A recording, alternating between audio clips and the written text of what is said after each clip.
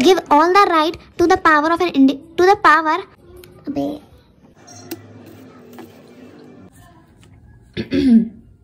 hello everyone welcome to my channel brilliant minds तो आज की इस वीडियो में हम class tenth financial market management का chapter number four secondary market के एमसीक्यू सॉल्व करेंगे। तो चैप्टर फोर हमारा थोड़ा सा लेंदी चैप्टर है तो इसलिए हम इसके एमसीक्यू को दो पार्ट में डिवाइड करेंगे। तो ये पार्ट वन है एम का तो अपने एमसीक्यू स्टार्ट करते हैं। तो क्वेश्चन नंबर वन हमें यहाँ पे दे रखा है what is meant by secondary market यानी कि सेकेंडरी मार्केट से आपका, आपको क्या समझ में आता है? तो ऑप्शन नंबर ए है security traded after being offered in the public in the primary market B option है security traded for the first time new security trade for the first time in the market और none of the above तो secondary market का मतलब है जब हम क्या करते हैं सिक्योरिटीज को दूसरी टाइम ट्रेड करते हैं, जब वो क्या है, पहली बार प्राइमरी मार्केट में ट्रेड हो चुकी है, उसके बाद जब दोबारा ट्रेड हो रही हो। तो जो ऑप्शन नंबर ए है, वो हमारा करेक्ट ऑप्शन है कि जब हम सिक्योर हम सिक्योरिटीज को तब ट्रेड करें जब वो एक बार ही प्राइमरी मार्केट में ट्रेड हो चुकी है।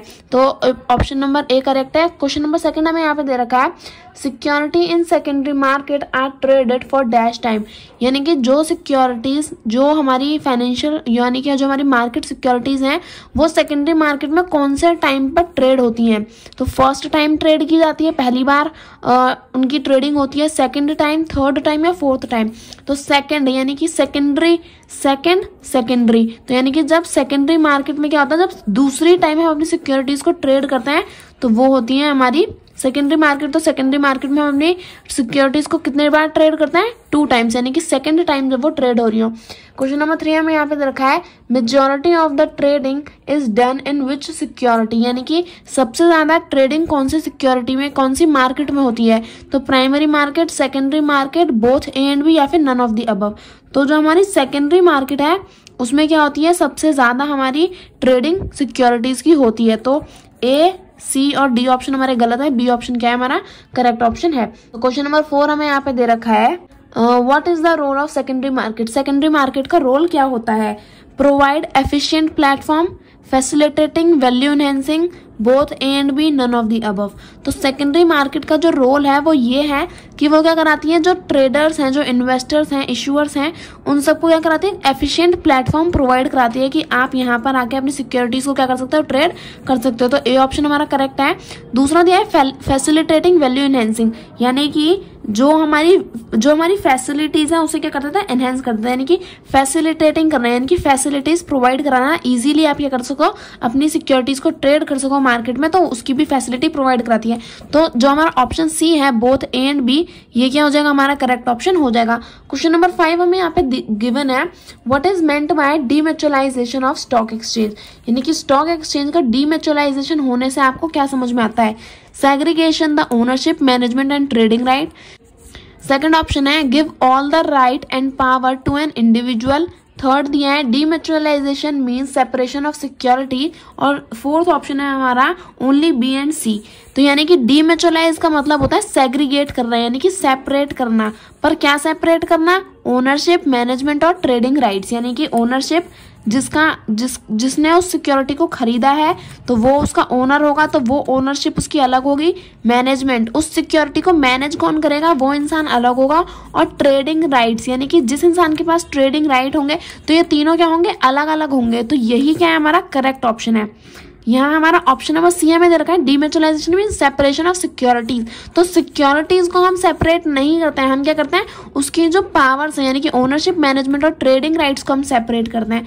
तो हमारा ऑप्शन ए क्या है? करेक्ट ऑप्शन है. क्वेश्चन नंबर सिक्स हमें यहाँ पे दे रखा है screen based trading is also known as screen based trading को हम क्या बोलते हैं? Electronic trading online trading use of information technology for trade यानी कि स्क्रीन बेस्ड ट्रेडिंग क्या होती है? इलेक्ट्रॉनिक ट्रेडिंग होती है। और इलेक्ट्रॉनिक ट्रेडिंग हम कैसे करते हैं? ऑनलाइन करते हैं। और ऑनलाइन भी हम कैसे करते हैं? जो इंफॉर्मेशन टेक्नोलॉजी है हमारी आईटी सेक्टर जो है, उसकी वजह से हम ट्रेड करते हैं। तो इलेक्ट्रॉनिक ट्रेडिंग और ऑनलाइन ट्रेडिंग और use of inter information technology तीनों ही क्या है? करेक्ट ऑप्शन है। तो जो ऑप्शन नंबर डी है ऑल ऑफ़ दी अबव ये क्या हो जाएगा हमारा? करेक्ट ऑप्शन हो जाएगा। तो बाकी के क्वेश्चन हम नेक्स्ट पेज से स्टार्ट करते हैं। तो क्वेश्चन नंबर सेवन हमें यहाँ पे गिवन है NSC introduce a nationwide online fully automated dash trading system यानी कि जो एनएससी है, उसने हमें नेशन वाइड ऑनलाइन एक ट्रेडिंग सिस्टम हमें प्रोवाइड कराता है। तो उस ट्रेडिंग सिस्टम का नेम क्या है? यानी कि नाम क्या है उस ट्रेडिंग सिस्टम का? तो ऑप्शन दे रखे हैं नीट सेकंड ऑप्शन है ओ ई C L O B C दिया है हमें आई ओ आई पी ओ और डी दिया है हमें एस बी टी एस तो यानी कि जो एनएससी में ऑनलाइन ऑटोमेटेड एक ट्रेडिंग सिस्टम प्रोवाइड कराती है नेशन वाइड वो कौन सा ट्रेडिंग सिस्टम है screen based trading system S B T S तो ये हमारा ऑप्शन नंबर डी क्या है? करेक्ट ऑप्शन है। क्वेश्चन नंबर एट हमें यहाँ पे दे रखा है फुल फॉर्म ऑफ़ नीट यानी कि नीट की फुल फॉर्म क्या है? National exchange for automated trading nationwide export of assets and technology national empowerment of all teenagers national national exchange for automatic trade तो एन जो नीट है उसकी full form क्या होती है? Nation national exchange for automated trading तो ये हमारा ऑप्शन नंबर एक है करेक्ट ऑप्शन है. क्वेश्चन नंबर नाइन हमें दिया है full form of OTC OTC की फुल फॉर्म क्या होती है? Over the couch on the car over the counter none of the above तो जो ओटीसी है, उसकी फुल फॉर्म होती है हमारी ओवर द काउंटर अगर आपको फुल फॉर्म याद है तो आपको ज़्यादा सारे ऑप्शन देखने की ज़रूरत नहीं है। जो करेक्ट ऑप्शन है डायरेक्ट उस पर टिक कर देना। तो क्वेश्चन नंबर टेन हमें यहाँ पे दे रखा है the uptime record of NEAT is यानी कि जो नीट है, जो हमारा national exchange for automatic trading है सिस्टम है, इसका अप टाइम रिकॉर्ड क्या है? यानी कि इसका रिप्लाई करने का अप टाइम रिकॉर्ड क्या है? ए ऑप्शन है 99.99 परसेंट 99.07 परसेंट नाइन्टी परसेंट या फिर 99.09 परसेंट। तो नीट का जो अप टाइम रिकॉर्ड है वो है हमारा 99.07 परसेंटेज। तो ये हमारा क्वेश्चन नंबर टेन भी कंप्लीट हो गया। क्वेश्चन नंबर इलेवन दिया है what is a contract note contract note हमारा क्या होता है? A confirmation note a document of share a prospectus या फिर कुछ भी नहीं नथिंग तो जो कॉन्ट्रैक्ट नोट है, ये ब्रोकर और जो इन्वेस्टर है, उन दोनों के बीच में कंफर्मेशन नोट होता है। तो यानी कि जो ऑप्शन नंबर ए है, वो क्या है हमारा? करेक्ट ऑप्शन है। तो क्वेश्चन नंबर ट्वेल्व में यहाँ पे दिया है who issue a contract note अब कॉन्ट्रैक्ट नोट को इश्यू कौन करता है? यानी कि इश्यूअर जो कॉन्ट्रैक्ट नोट है, जो हमारा कंफर्मेशन नोट है, इसे इश्यू कौन करता है? इसे देता कौन है? The investor the issuer SEBI या फिर ब्रोकर तो जो कॉन्ट्रैक्ट नोट है, ये जो हमारा ब्रोकर होता है, यानी कि इंटरमीडियरीज जो होते हैं, ये हमें इशू करते हैं. किसको इशू करते हैं? जो हमारा इन्वेस्टर है, उसे इशू करेंगे जो ब्रोकर होते हैं. तो क्वेश्चन नंबर थर्टीन हमें दिया है which details is not required which detail is not required in a contract note तो कॉन्ट्रैक्ट नोट में हमें कुछ डिटेल्स देनी होती हैं। तो यहाँ पूछा है कि वो कौन सी डिटेल है जो हमें कॉन्ट्रैक्ट नोट में नहीं देनी होती? तो ए ऑप्शन है नेम ऑफ़ पार्टनर या फिर authorise signatory second trade number and trade time third name of investors children D signature of the stock broker तो जिसका जो जो हमारा कॉन्ट्रैक्ट जो भी हमारा इन्वेस्टर है, उसका नेम होना तो ज़रूरी है। अब आप ट्रेड मतलब कौन सी सिक्योरिटी कौन सी सिक्योरिटी को ट्रेड कर रहे हो और किस टाइम पे ट्रेड कर रहे हो तो ये भी हमें बताना ज़रूरी है। और सिग्नेचर होने तो बहुत ज़्यादा ज़रूरी है। तो अब कौन सा ऑप्शन बचता है? ऑप्शन नंबर सी यानी कि जो इन्वेस्टर है, उसके बच्चों से हमें क्या लेना देना उसके कितने बच्चे हैं? क्या नाम है? तो जो कॉन्ट्रैक्ट नोट है, उसमें हमें बच्चों के नाम की, उस इन्वेस्टर के बच्चों के नाम की कोई रिक्वायरमेंट नहीं होती है तो ये यहाँ पे हमारा ऑप्शन नंबर सी क्या हो जाएगा? करेक्ट हो जाएगा। तो अब बाकी बाकी के जो बच्चे क्वेश्चन है, वो हम नेक्स्ट पे से स्टार्ट करेंगे। तो क्वेश्चन नंबर फोर्टीन हमें यहाँ पे दिया है what is the maximum percentage of broker that they can charge यानी कि जो ब्रोकर होता है, जो हमारे इंटरमीडियरीज होते हैं, अब वो अपनी ब्रोकेज लेते हैं। ब्रोकेज यानी कि उन्हें भी तो अपना पैसा कमाना है तो वो कितना मैक्सिमम है? यानी कि वो हमसे, यानी कि इन्वेस्टर से जो है, वो कितना मैक्सिमम चार्ज करते हैं? तो 1.5 परसेंट 2.5 परसेंट 3.5 परसेंट या 4.5 परसेंट तो जो हमारा ब्रोकर होते हैं, वो 2.5 परसेंट क्या करते हैं? अपने इन्वेस्टर से चार्ज करते हैं। अगर इन्वेस्टर का जितना भी प्रॉफिट होता है, उसमें से 2.5 परसेंट क्या होगा? उस ब्रोकर को हमें हमें अपना पैसा देना पड़ेगा, ताकि उसने हमें इतना सारा हेल्प कराई है काम करने में। तो वो उसकी क्या हो जाती है? ब्रोकेज हो जाती है, वही उसकी कमाई होती है। तो क्वेश्चन नंबर फिफ्टीन यहाँ पे हमें दे रखा है, इसे रीड कर लेते हैं। हाउ वी कैन आइडेंटिफाई और वेरीफाई द ब्रोकर और सब ब्रोकर इज़ रजिस्टर्ड और नॉट दे आर ऑथोराइज और नॉट यानी कि हमें कैसे पता चलेगी कि सामने वाला ब्रोकर या सब ब्रोकर जो भी है, वो ब्रोकर क्या होता है? एक कंपनी में जो इंटरमीडियरी है, वो। लेकिन वही कंपनी क्या है, अगर मल्टी नेशनल कंपनी है, यानी कि उस उस कंपनी की बहुत सारी ब्रांचेज हैं तो एक ब्रोकर के नीचे जो बहुत सारे लोग काम कर रहे हैं, और वो क्या कर रहे हैं? सेम काम कर रहे हैं ब्रोकर की तरह ही। तो एक ब्रोकर के नीचे क्या है, बहुत सारे लोग हैं और वो भी ब्रोकर की तरह ही काम कर रहे हैं। तो वो जो छोटे छोटे लोग हैं, वो जो बहुत सारे लोग हैं, वो हमारे सब ब्रोकर होते हैं। तो आई होप आपको ब्रोकर और सब ब्रोकर तो पता ही होगा। तो हमें कैसे पता चलेगी कि एक ब्रोकर और सब ब्रोकर रजिस्टर्ड है ऑथोराइज है या नहीं? तो ऑप्शन दे रखा है by asking them by checking their documents और सी दिया है by verifying the registration certificate issue by SEBI और डी दिया है by search their name on Google यानी कि हमें कैसे पता चलेगी कि ब्रोकर और सब ब्रोकर रजिस्टर हैं या नहीं? अगर हम उनसे पूछेंगे तो अगर वो रजिस्टर नहीं होगा तो वो हमसे झूठ भी बोल सकता है कि हाँ मैं रजिस्टर हूँ। तो हम किसी के सिर्फ़ उसके बोलने के भरोसे तो उस पर भरोसा नहीं कर सकते ना। बी दिया है बाय चेकिंग देर डॉक्यूमेंट्स उनके सिर्फ़ डॉक्यूमेंट्स चेक करने ले, लेने से ही काम हो जाएगा। डॉक्यूमेंट्स तो फेक भी बन जाते हैं। तो सिर्फ़ डॉक्यूमेंट चेक करने से कुछ नहीं होगा। सी दिया है by verifying the registration certificate issue by SEBI तो क्या होता है, जो रजिस्ट्रेशन सर्टिफिकेट है, जो कौन करती है इशू करती है, जो सिर्फ़ और सिर्फ़ सेबी ही इशू करती है। तो अगर हम, उनके पास वो रजिस्ट्रेशन सर्टिफिकेट होगा तो उसका मतलब क्या है कि वो ऑथोराइज रजिस्टर्ड ब्रोकर या सब ब्रोकर है। तो ऑप्शन नंबर सी क्या हो जाएगा? हमारा करेक्ट ऑप्शन हो जाएगा। अब डी दिया है by search their name on Google अब गूगल पे इतने बड़े फ़ेमस इंसान नहीं है वो, जो उनका गूगल पे नेम सर्च करने पे आ जाएगा। तो ये डी ऑप्शन भी गलत हो गया। क्वेश्चन नंबर सिक्सटीन दिया है what is the full form of PMS PMS की फुल फॉर्म क्या होती है? पोर्टफोलियो मैनेजमेंट सर्विस तो हाँ यही क्या होती है, हमारी पीएमएस की फुल फॉर्म होती है।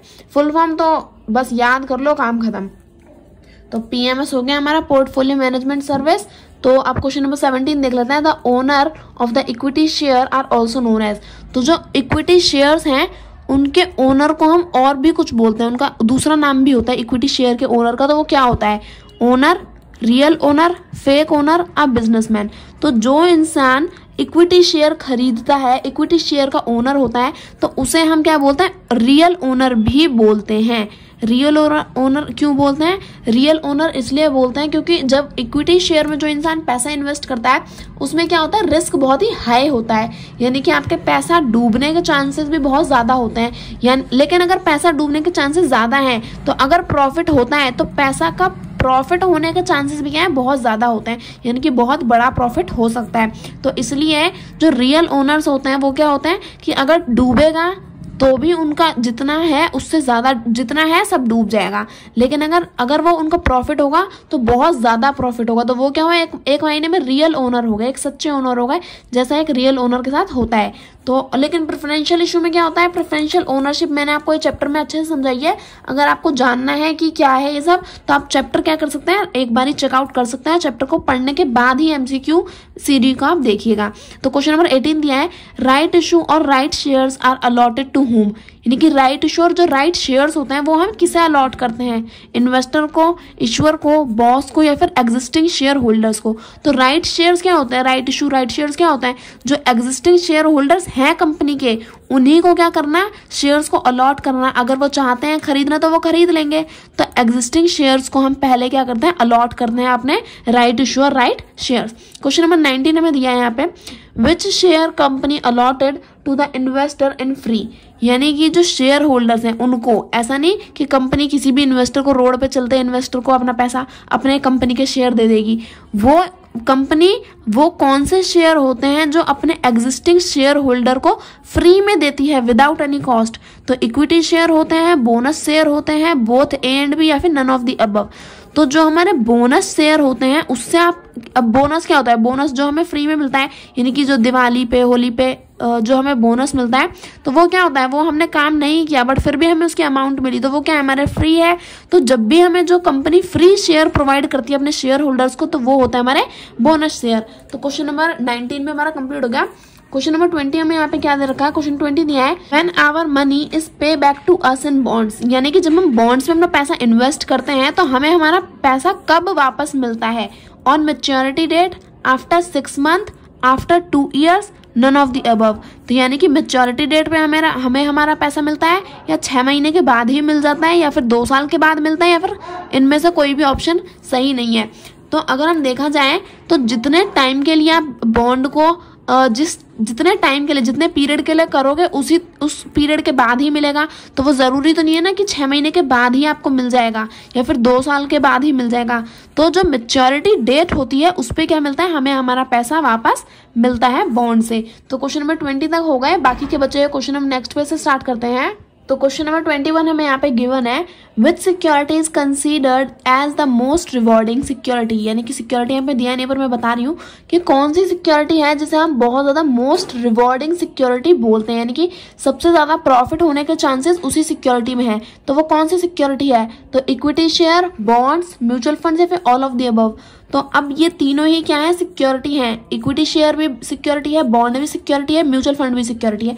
बट सबसे ज़्यादा प्रॉफिट होने के चांसेस सबसे ज़्यादा रिवॉर्डिंग सिक्योरिटी हमारी कौन सी होती है?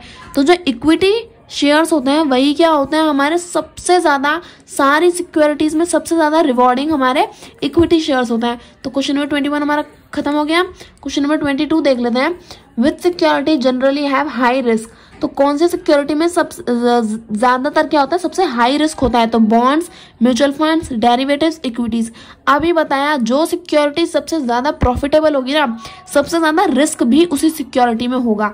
तो यानी कि सबसे ज़्यादा प्रॉफिटेबल सिक्योरिटी कौन सी है? इक्विटी तो सबसे ज़्यादा रिस्क भी कौन सी सिक्योरिटी में होगा? हमारा इक्विटी शेयर्स में ही सबसे ज़्यादा रिस्क होता है। क्वेश्चन नंबर ट्वेंटी थ्री दिया है what have what has the average return on equity in India यानी कि पिछले पंद्रह सालों में जो इक्विटी है इंडिया की, उनमें एवरेज रिटर्न कितना मिलता है? तो ten percent twelve percent fourteen percent sixteen percent तो जो हमारी इंडिया की पिछले पंद्रह साल का अगर हम रिकॉर्ड देखते हैं तो जो इक्विटीज पे जो रिटर्न मिलता है, वो हमारा सिक्सटीन परसेंट का इंटरेस्ट सॉरी सिक्सटीन परसेंट का रिटर्न हमें मिलता है। क्वेश्चन नंबर ट्वेंटी फोर हमें यहाँ पे दे रखा है।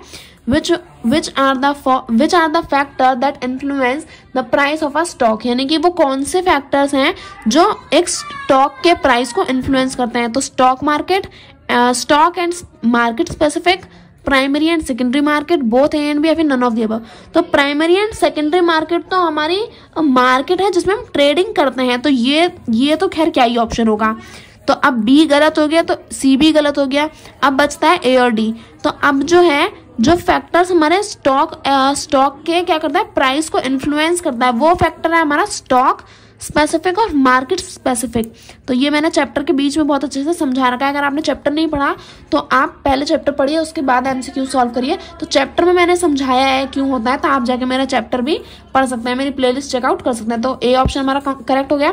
क्वेश्चन नंबर ट्वेंटी फाइव दे रखा है मैं इस वीडियो में, इस पार्ट वन में चैप्टर फोर के पार्ट वन में हम ट्वेंटी फाइव क्वेश्चन ही सॉल्व करेंगे। बाकी के बचे हुए क्वेश्चन हम सेकंड पार्ट में सॉल्व करेंगे। तो ये हमारा लास्ट क्वेश्चन है।